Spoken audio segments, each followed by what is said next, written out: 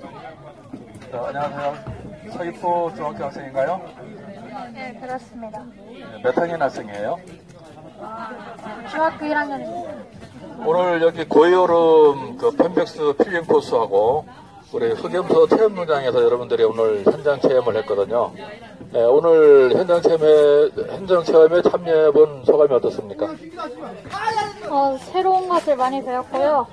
이제 염소들이 또 같이 밥 먹으러 가는 모습을 보니까 또 훈련도 잘 시켜놨고 13마리에서 13마리로 만드는 기적을 보여주셨던 사장님도 정말 대단하다고 생각합니다. 네, 앞으로 친구분들한테 많이 소개할 건가요?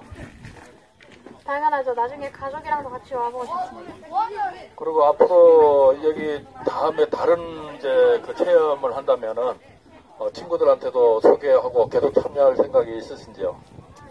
아, 이렇게 재밌는 활동이라면 계속 참여해도 여한이 없을 것 같습니다. 네, 감사합니다.